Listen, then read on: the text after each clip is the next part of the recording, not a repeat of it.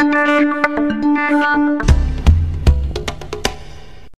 La CCI de Carcassonne, le département, la ville et l'aglo ont signé ce mardi une convention pour faciliter l'accès des appels d'offres aux PME audoises.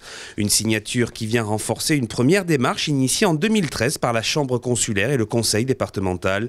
Guide, assistance, plateforme Internet sont les outils mis à disposition pour les chefs d'entreprise par l'ensemble des partenaires qui souhaitent également que les grandes entreprises intègrent les PME du département sur des chantiers de plus grande envergure. Nous avons voulu aujourd'hui partenariat avec euh, Carcassonne Aglo, le département de l'Aude et la ville de Carcassonne, mettre euh, toutes nos dynamiques pour passer euh, d'un faible taux de réponse de nos PME locales à nos marchés publics qui était en 2014 de 28%, de dépasser aujourd'hui les 55%. On a parlé tout à l'heure d'appels d'offres importants dans le cadre d'infrastructures, où là, pour le coup, on n'aura pas de leader d'entreprises locales, mais qui devront s'associer avec des entreprises locales pour euh, des, activités, je dirais, de deuxième niveau comme pour demain la LGV, comme pour toutes ces grosses infrastructures.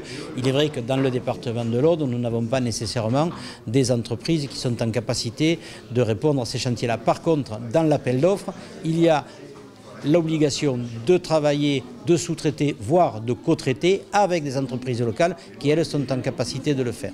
La simplification des marchés publics dans l'Aude est devenue une réalité.